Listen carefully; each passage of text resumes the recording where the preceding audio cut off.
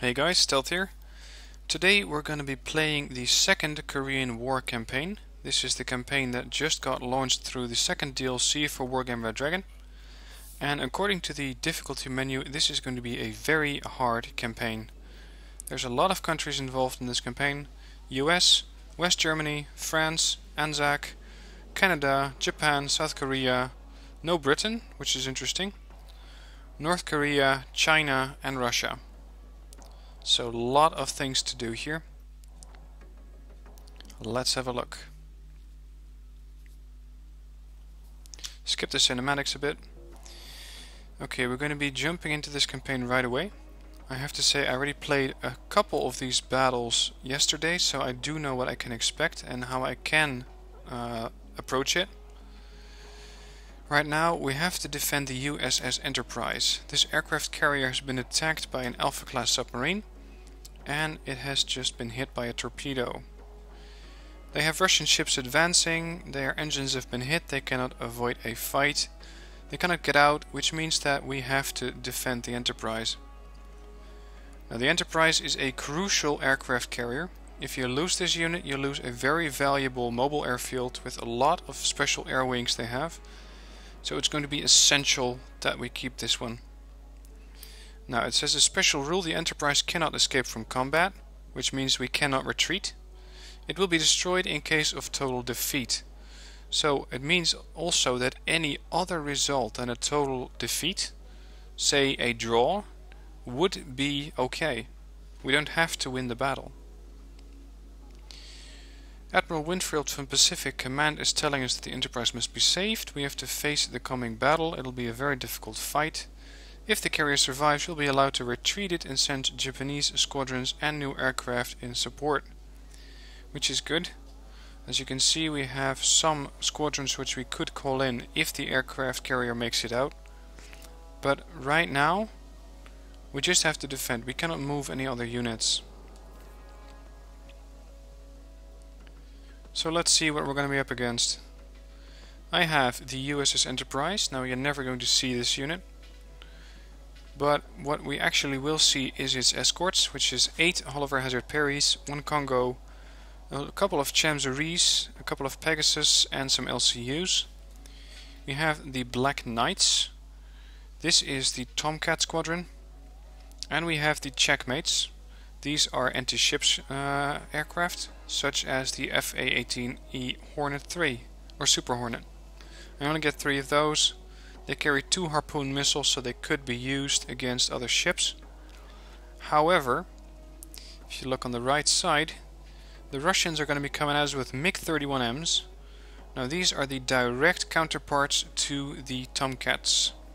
These have 11,900 meter range, these 11,900 as well.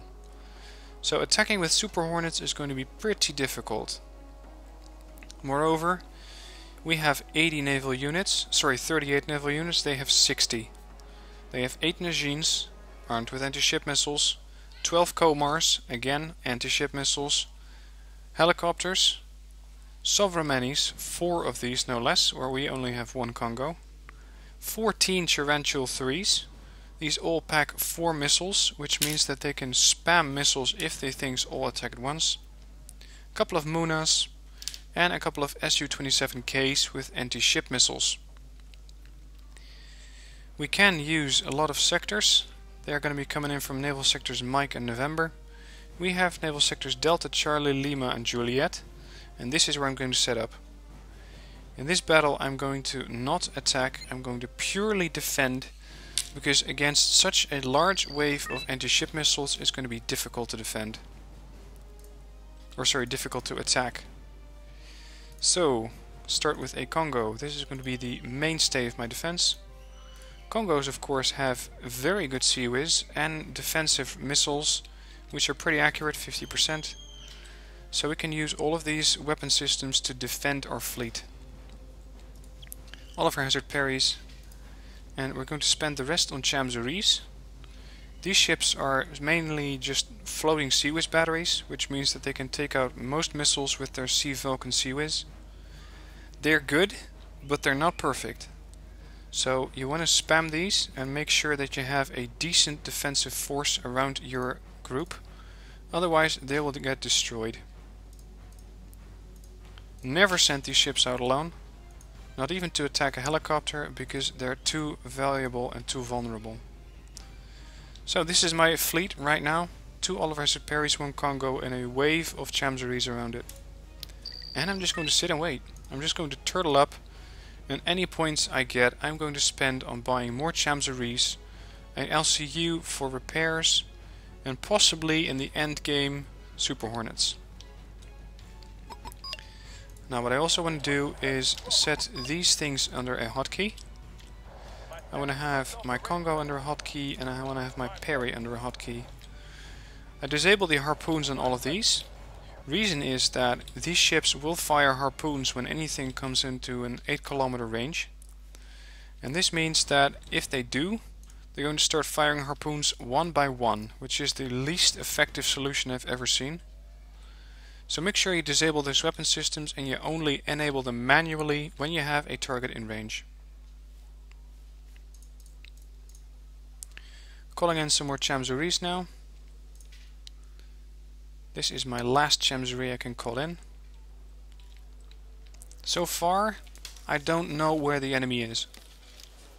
The only thing I know is that they've captured Naval Sector in Mike and uh, November and that they're going to be coming.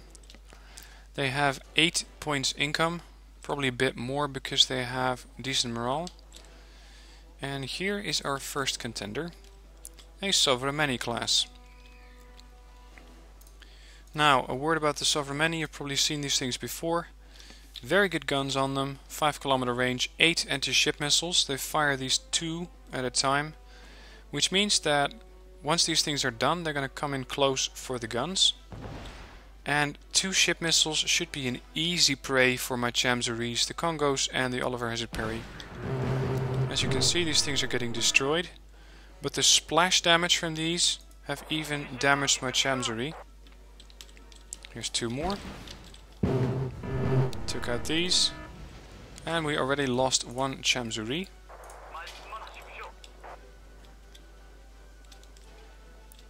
Another ship missile coming in. From northeast we have a Tarantula. Just look at the combined force of these things. It seems that they're only coming in from the right side now. So I want these Chamsuris to start relocating. I won't need a defense on my left flank. I can call in another Oliver Hazard Perry. The more guns the merrier, basically. As you can see the Sovremenny fired all of its ASMs. So now it's coming for me and I want this thing to be in range before I'm going to start taking it out. Here's another Oliver Hazard Perry, hotkey that thing. Now, these anti-ship missiles from the Oliver Hazard Perrys are fired one by one. The Kongo fires a salvo of four. The Sovremenny doesn't appear to have any escorts, so I'm going to turn on all of these anti-ship missiles. And this should help with destroying the Kongo before it starts to take out too many Chamseries. Hit one missile, two. He managed to defend himself a little bit. Another missile hit. Time to call in an LCU to make sure we can resupply all of these toma tomahawks, harpoons, sorry. Sovremenny is almost out.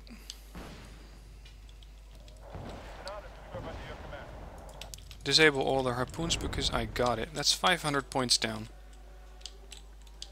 Now the one thing I lost is a Chamsuri and I have a couple of heavily wounded Chamsuris surrounding my fleet. The Kongo Oliver Hazard Perrys are not damaged. And this is great news because this means they are still very effective and at no risk of being destroyed.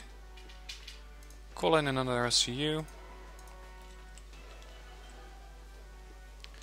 This Najin is in range. So let's uh, bundle up on ATGMs, sorry ASMs and go after this thing. It probably already fired its termite missiles, otherwise it would be firing them now. So I think this thing's empty and coming in for his gun. He has a range of 4300 meters on the gun. My Kongo has, sorry, this is my Oliver the range of 3 kilometers, and the Kongo with a range of 6. So I can at least wound him a little before I go after him with ASMs. My aim is now to panic him, and this way he is less effective with his CIWS. Okay, this is troubling. SU-27Ks.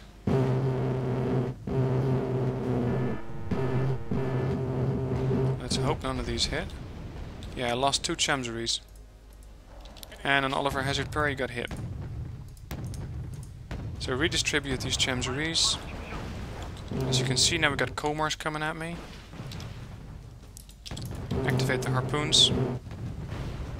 Keep in mind, harpoons cannot attack rivercraft. These little bastards are riverine boats, which means they cannot be targeted by anti-ship missiles. If you want to take out those bastards, you're going to have to do it with the gun.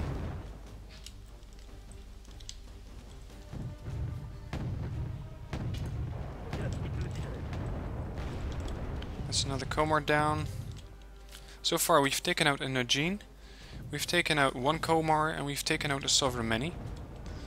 We've lost a couple of Chamsuris, but we still have five of these left. So we seem to be doing okay. Speed this up and see when another capital ship's gonna come in.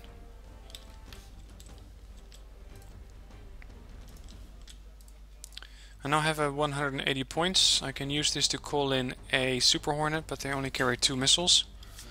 Instead, it is safer to call in another Oliver Hazard Perry. Because these ships are much more valuable right now in the defense than those Super Hornets can be on the offense. okay, we have some more fire coming in here. I'm not sure I can attack those.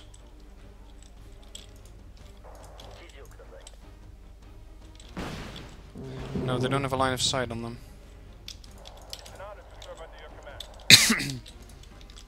Hotkey my other Perry. They have a decent fleet here. A couple of Nogins, a couple of Tarantulas. But it seems that they're just stalling here. Not sure why. Okay, we're gonna take fire from Tarantulas. These carry four missiles each, fired in bursts of two. As you can see, we're putting up a wall of lead, four missiles down. They're probably going to do that again. And they have a Muna, which means that they can keep firing ASMs at me.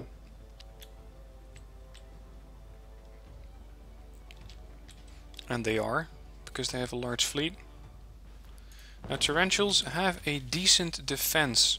They got good CIWS, which means they're harder to kill with anti-ship missiles.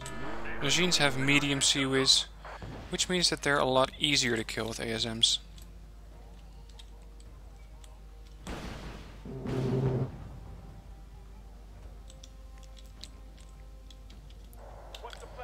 Now, let's see.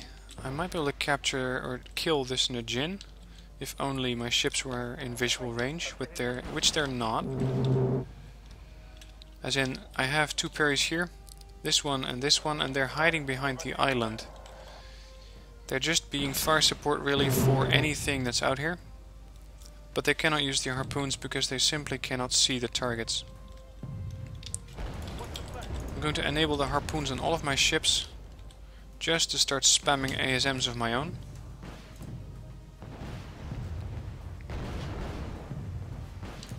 Let's call in some more LCUs to keep all of these ships supplied. Blow up one Nogin.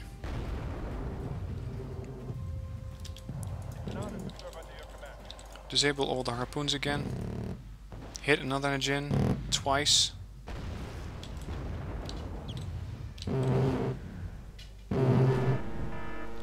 Now, as you can see, I'm not trying to kill these units aggressively by moving my entire fleet out, because they have way more anti-ship missiles than I do. Instead, I'm just trying to survive here, have all of these Komars do what they do, fire the anti-ship missiles, take those out, and make work of them next turn.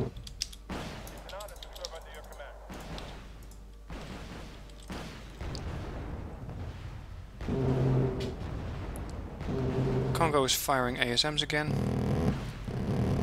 Let's hope he manages to take out any of these ships. Took out a Komar, but that was with guns.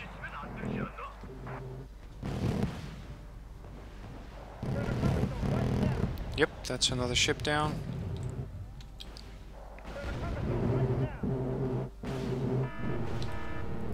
Looks like one of these things got hit. Yeah, Chamsuri got destroyed. Disable the harpoons, wait for them to all be refilled.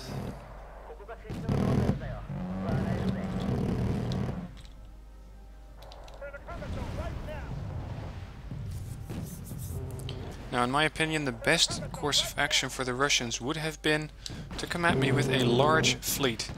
Come at me with all of these ships at the same time then uh, enable all of the anti-ship missiles and that way deploy such a large anti-ship missile wave that you would slowly wear me down. That's how I would tackle this naval battle as I, if I was playing that side.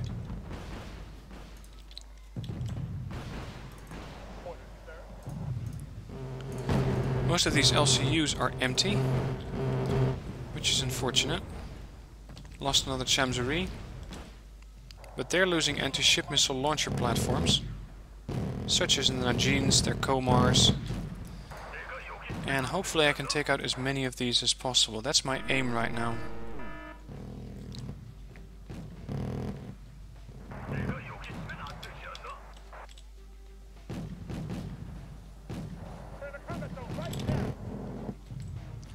Fortunately the weapon system from the Kongo is rebooting, which means it cannot fire any anti-ship missiles right now or anything else for that matter. Managed to score another hit on this Najin.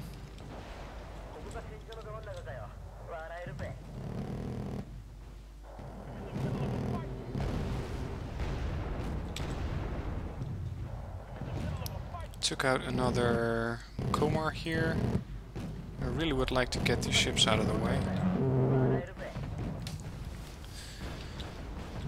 All I'm trying to do is make sure they have less anti-ship platforms than I do next turn, and that I'm not losing any ships this turn. Now I have lost a couple of Chamsuris, but they went down sacrificing themselves for the greater good, literally, because they managed to keep my other ships alive, which is very very valuable. Because that means that the Kongo and the Oliver Hazard Perrys can go again next round.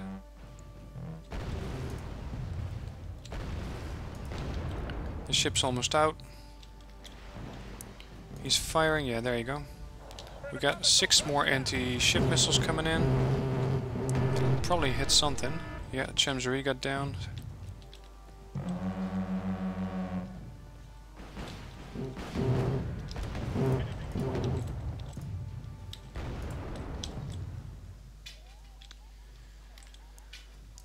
Got 370 points. Let's see what kind of fun stuff we can do with that. We might be able to destroy this Muna, but I know that there's a ship somewhere here. Yeah, they got some ships bunched up. If I can destroy this Muna, that's going to create a tremendous explosion. Try and go for this Muna. Oh, I missed these ships. No hits, unfortunately. Except on my aircraft, which are both alive, but damaged. At this point I only got one, no two Chamsuris left. So the rest of my units are just going to have to fend for themselves. And I only got three minutes to do that, so I should be okay.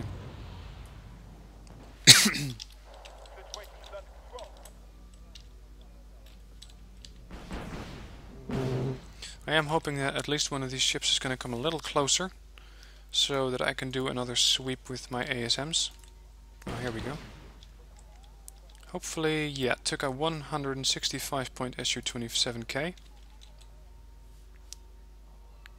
And what I want to try to do is call in a Tomcat, have it circle over my own lines, and try to lure in some of those air superiority fighters, those MiG-31s. Maybe some of my ships can take out one or two of those planes. More ASMs coming in. They seem to have an endless supply. Which is true, because they have a couple of Munas behind them.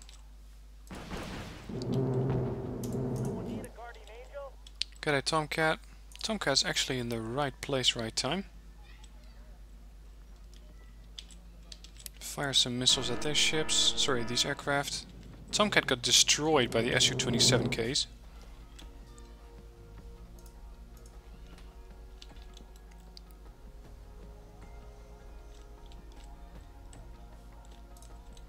Now I want to have one ASM helicopter out here. These are excellent spotters. And I want to see if I can get some more shots in on any of these ships. Okay, we lost another unit. We lost another Chamsuri. 30 seconds left. Yeah, I'm not going to risk my ships anymore. Or my aircraft.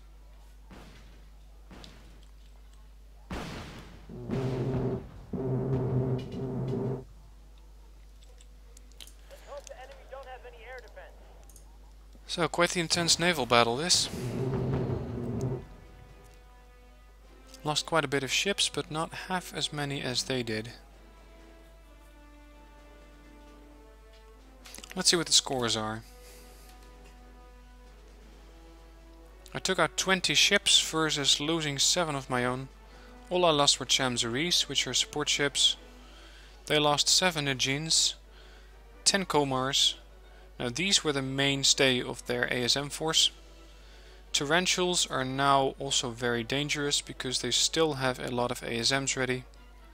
Took out one Su-27K anti-ship fighter and I took out one Sovremenny. So now we can actually start focusing on the attack. We've repelled the Soviet attack, but we're going to do this again next round, is basically what he's saying. Washington thinks that this is aggression is a warm-up for a full-blown invasion of Korea. They're quiet on other theaters, we think this is only a regional conflict, but you're at the forefront. Major Sung at the DMZ says it's quite quiet.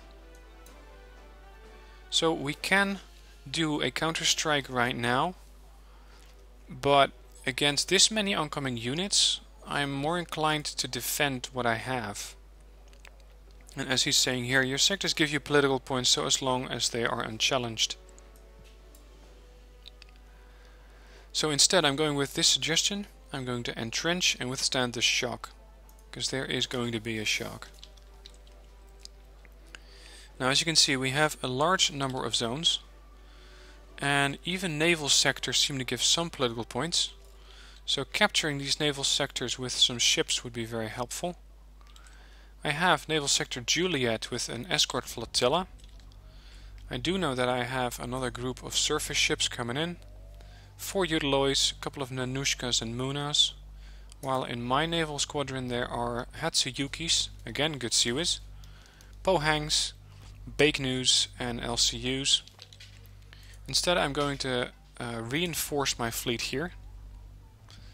And this should help with the attack on those Udaloys.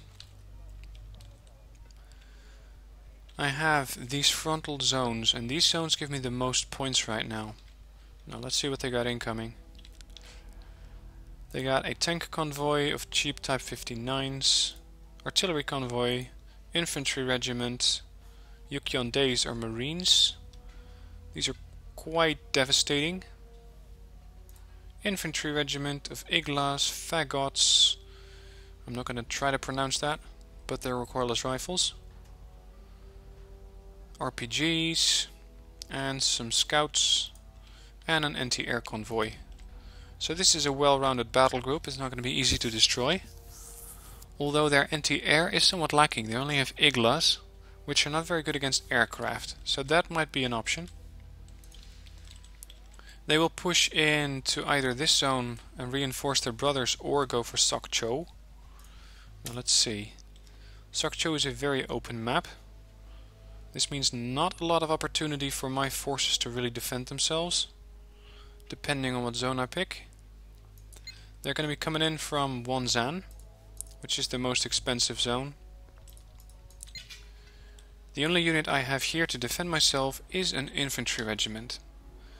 Now I do not see these things going toe to toe with tanks at all. I have support, some of it. I have recoilless rifles, but again, these aren't going to make much of a dent in those Type 59s. So instead I'll just give up Sok Cho and focus my defense on this sector, Seoul and Cruncheon. In Cruncheon, let's see what kind of map is this. Another open map. I suspect they're coming in from Kaesong, which means that this open map is very suitable for ATGMs. Unfortunately, all we got is cheap tanks. But it is a 10 point zone, so I would like to be able to hold it. What I have incoming right here is an anti-air convoy and a tank regiment, T-72s. Now T-72s against old versions of M48 Pattons is not going to be pretty. So we either need to make sure that we have a defense against those Pattons, sorry, against those T-72s, or we need to get the hell out. They got A-51s, which are cluster bombers. Those are a good complement to the tanks. These can weaken my vehicles and tanks, and their T-72Ms can finish them off.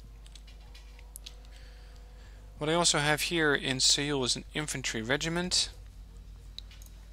This is a pretty decent map for infantry because I can pull back all the way to Daejeon and put some infantry in here while they come in from Onglin.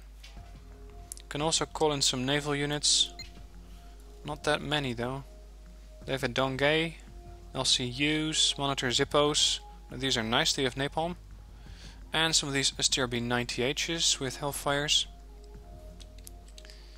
I can call in some support on artillery convoy. Nosil is a very important zone. I can reinforce this directly through its port, so I want to keep this. I have a recon convoy and I'm also going to send these to Seal.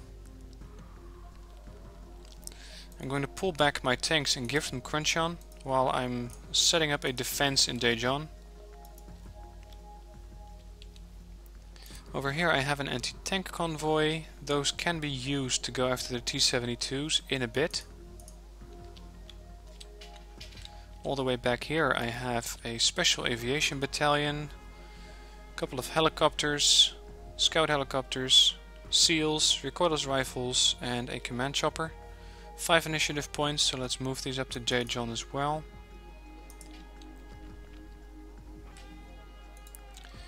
I have A-37Bs. These are bombers with both cluster bombers and snake eyes, but they only have 5 initiative points, which means they can only reach these zones.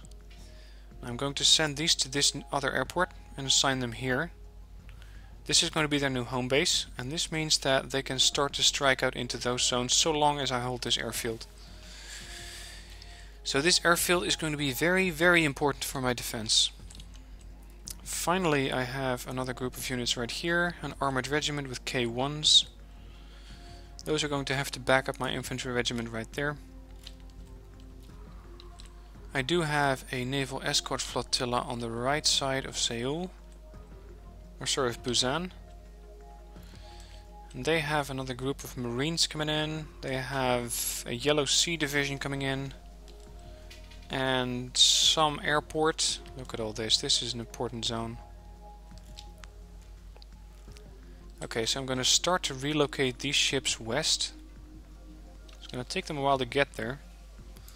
I have 20 points. And as you can see, I kept the naval sector of the Enterprise. So I can call in some of these naval task forces. I got the Night Riders. These are tram intruders with anti-ship missiles. I got the Night Hawks, F-18C Hornets. These will be very handy against those T-72s, but they're 40 points and I only have 20. I got Bulldogs, Harriers with bombs, and the Rooks, Prowlers. Okay, cannot call in a lot of those unfortunately. I can call in another escort flotilla Uh, for 20 points I get anti-ship helicopters, Kongos, Pohangs and Donghaes. Now this could be a nice counter to this group, but I want to do that with the Enterprise. Because I think that my defense on the ground is going to be way more important.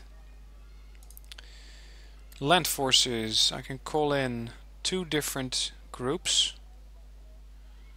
I got the 15th Victory Division and the 3rd Lightning Brigade.